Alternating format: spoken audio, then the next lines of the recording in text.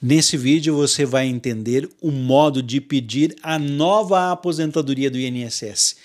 Espero ajudar vocês e se ajudar, peço que vocês ajudem outras pessoas compartilhando essa informação que eu vou trazer aqui nas suas redes sociais. Compartilhe esse vídeo no seu Facebook, na sua lista de amigos do WhatsApp Sejam todos muito bem-vindos, que Deus abençoe a todos. Meu muito obrigado pela sua participação. Vou pedir para você já deixar aquele like, aquele joinha para eu poder me organizar aqui na agenda. São muitas informações para eu saber se você recebeu os vídeos. Gratidão a todos que são inscritos aqui no canal. Se você ainda não é inscrito e quer receber as informações, aproveita essa oportunidade de ficar informado. Já se inscreva e ative o sininho das notificações porque é de graça. Eu não cobro nada de vocês por esse trabalho que eu faço todos os dias e eu agradeço a todos pelo carinho deixado nos comentários desse canal. Tem alguma dúvida? Comente para eu poder voltar no futuro para ajudar vocês. Então, o modo de pedir a nova aposentadoria do INSS, se você chegou até esse conteúdo, muito provavelmente está buscando aí conteúdos que expliquem como encaminhar a sua aposentadoria, não é mesmo? Então, não esqueça de ajudar aí compartilhando. Então, começa a pesquisar sobre aposentadoria, você está querendo ingressar em um novo mundo, onde é possível entender como solicitar o benefício que vai muito além de simplesmente entrar no INSS e pedir. Quando chegar a hora de se aposentar, você deve aproveitar tudo que esse momento tem para oferecer e não ficar aí pensando que todo o tempo trabalhado foi reconhecido lá pelo INSS ou se o valor que você está recebendo está correto. Infelizmente, todos erram e principalmente o INSS. Pensando nisso, vou pedir que você acompanhe esse vídeo aqui. Então, como encaminhar a aposentadoria? Por onde começar? Esse é o objetivo de hoje aqui, das dicas. Muitos segurados escolhem, optam por fazer esse pedido, esse procedimento, sem a ajuda de um advogado especialista. Sempre eu recomendo que busque o auxílio de um profissional capacitado, um advogado previdenciário, para realizar o acompanhamento de todo o processo pela experiência e visão aprofundada na matéria que esse profissional tem. Para conhecer melhor o trabalho desse profissional, eu indico que você siga esse vídeo aqui e depois que você tiver uma noção, você vai contratar, portanto, ali os serviços do profissional. O que, que você vai precisar? Primeiramente, documentação, períodos de atividade especial, se tiver, outros períodos que possam ser computados à sua aposentadoria, períodos que não são considerados pelo INSS, a importância do seu extrato previdenciário, o CNIS, conferir os salários de contribuição, realizar todos os cálculos e simulações. Eu vou explicar melhor para vocês. Então vamos lá? Documentação é o princípio, o começo. Para e pense por um momento aí.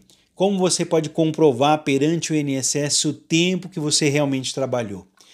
E a sua profissão, ela envolve algo especial? Como comprovar isso? Acertou se você falou com a documentação, é lógico, né? Então, você vai entender sobre a importância do documento, da organização, antes de encaminhar esse pedido. Principalmente com a mudança das normas do INSS que estão acontecendo nesse momento em 2022. Eu vou explicar por quê. Vai ter uma chuva de ações na justiça com essas mudanças. E a principal delas é a seguinte: a partir de agora, se você apresentar o pedido lá no INSS, se tiver faltando alguma coisa, eles vão pedir para você apresentar um complemento. E se você não apresentar esse complemento, você vai para arquivo, você vai perder o direito, não vai poder usar essa data de pedido administrativamente, ou seja, dentro do INSS eles vão considerar que você não tem aquele direito porque eles querem acabar com a fila do INSS. Dessa forma, pediu, está faltando documento, exigiu, você não atendeu, vai para arquivo, você vai ter que começar tudo novamente, tá? Mas tem uma solução que eu vou trazer no final do vídeo. Então, para não acontecer isso, de você ir para arquivo, eles não colocarem o seu processo para frente, siga essas orientações. Primeiro, se você trabalhou com algo que faz mal à sua saúde, períodos de atividade especial. Trabalhadores que atuaram durante a vida expostos a agentes nocivos à saúde podem ter direito à aposentadoria especial.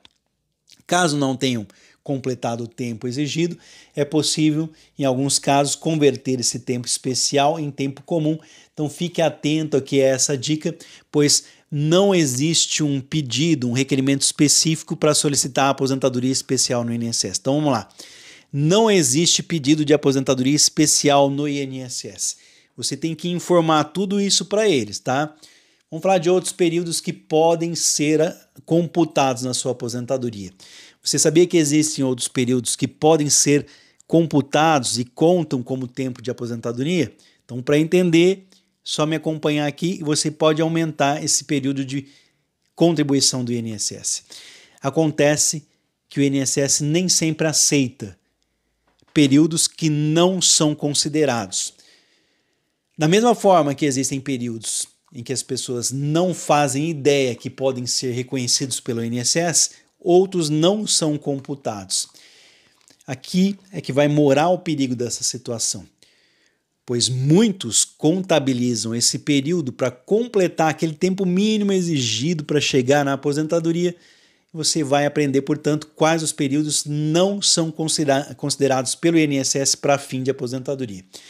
Você já deve ter ouvido aí falar sobre o extrato previdenciário, toda a sua vida de trabalho, que é o CNIS, Cadastro Nacional de Informações Sociais. Não é mesmo? Você já ouviu falar sobre isso?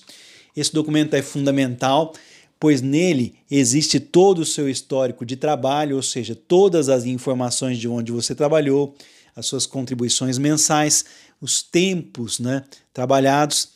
E se eu dissesse para você que nem sempre as informações que o INSS possui a respeito da sua vida, lá no CNIS, nem sempre essas informações estão corretas. É isso mesmo, dá até para assustar, né? Então, já parou para pensar que isso pode influenciar na sua aposentadoria? Então, não confie apenas no INSS, tá?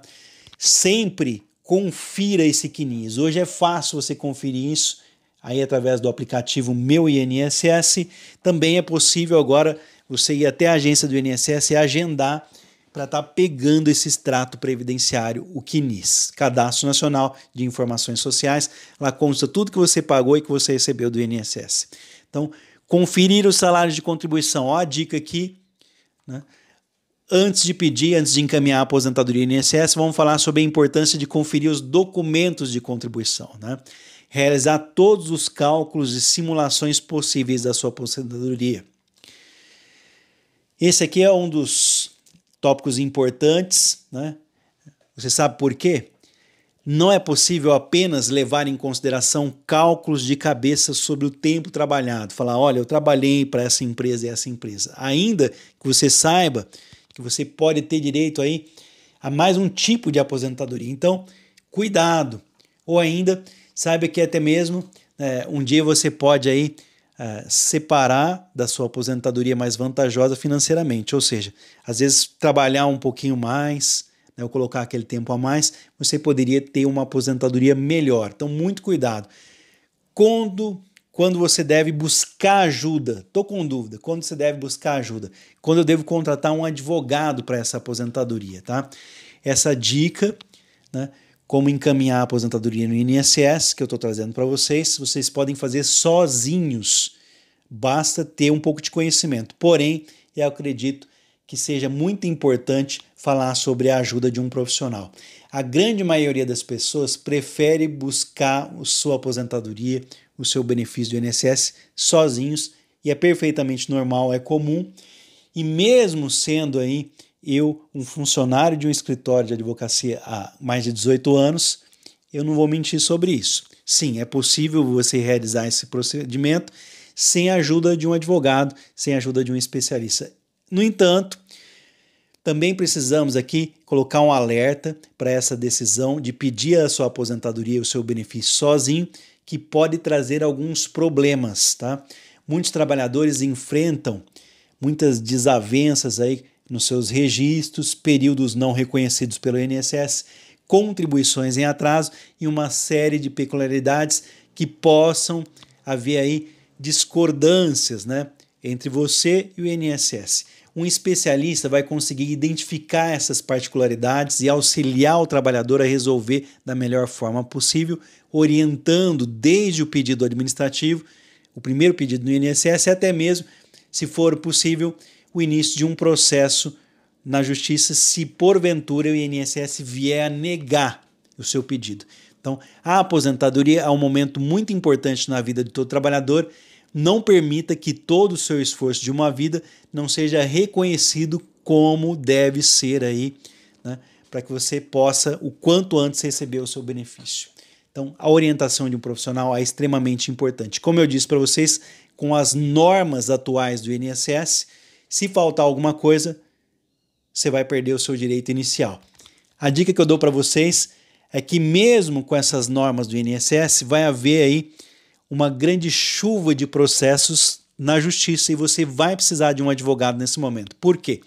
Uma vez que o INSS levar para arquivo aquele seu pedido falando que você não tem direito, vai ser a hora de você entrar com um processo na justiça contra o INSS. Então, como eu disse, vou até fazer vídeos depois falando, essa nova norma do INSS ela é necessária porque eles estavam trabalhando com algo antigo, com ações lá de 2015, 2017, nem ao menos, para ter uma ideia, estava adequado para 2019, que foi a última reforma da Previdência. Já fazem dois anos passados a reforma da Previdência. Essa norma nova, ela não traz nada de novo. Vai começar a valer essa nova norma de aposentadoria agora em 2022. Só que ao contrário, ela não traz novidades.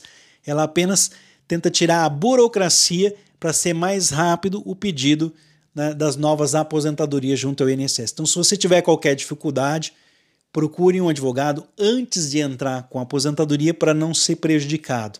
O INSS não reconhece muita coisa.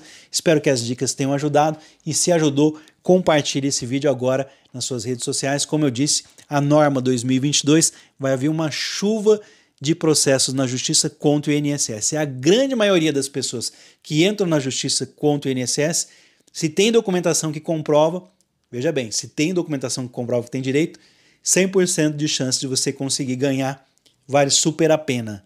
Contrate um profissional nesse caso.